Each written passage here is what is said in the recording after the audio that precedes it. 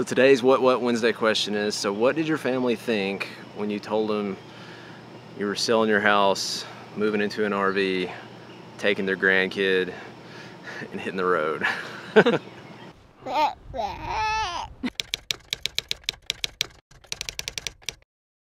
when we first uh, dropped this bomb, I guess, on a on family and friends, um, they were a little concerned. They voiced a few concerns to us.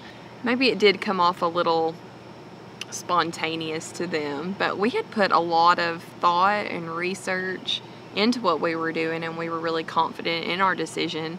I think their main concern was time away, time away from us and from our daughter Hensley. Um, and that's a legitimate concern, uh, I would have to admit.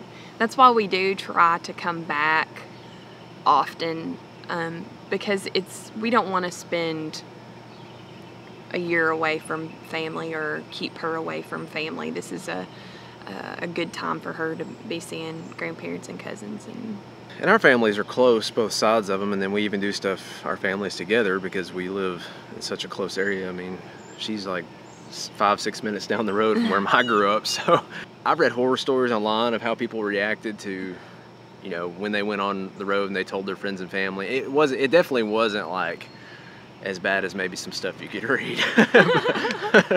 My mom just called us she just thought we were being hippies is what hippies gypsies. Yeah. Yeah we got a lot of that and you know when we were telling our, our friends and family about what we were doing there were some concerns about the money side of things how are you going to make money. Um, you do know you're buying something that goes down in value like a rock versus staying in your house which you know typically at least goes up in value. There's concerns about safety. I mean there was and these are the same concerns that we had and you've probably had. I think over time they've slowly come around um, to uh, being convinced this was a, a, good plan for our family.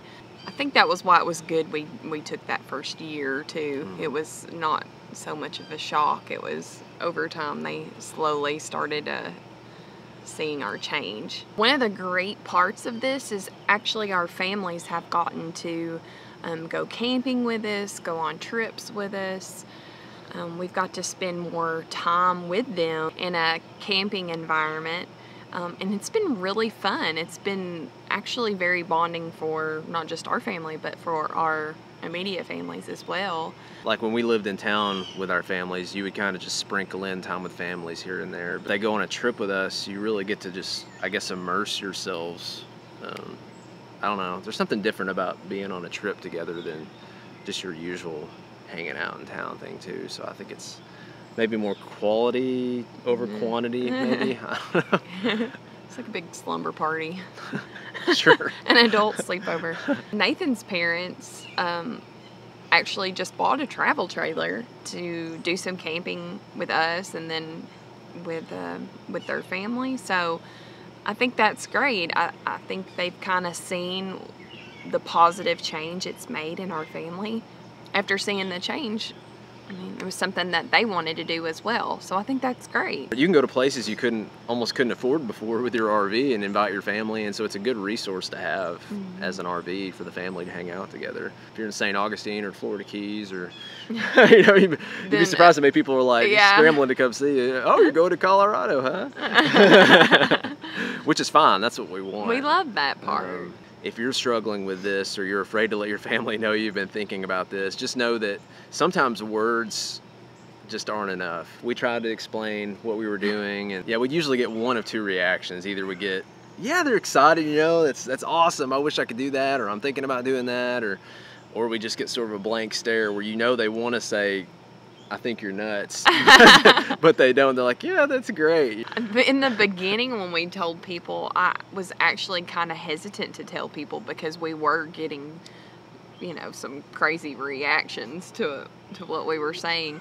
Um, but then, like afterwards, now I get excited to tell people. Like I'm excited about what we're doing, and I think it's great, even if some people don't understand like he said, I think when they see what we're doing, it makes total sense to them and they, they get it more when they see the adventure we're having as a family, the time we're spending together as a family versus, you know, the nine to five work week.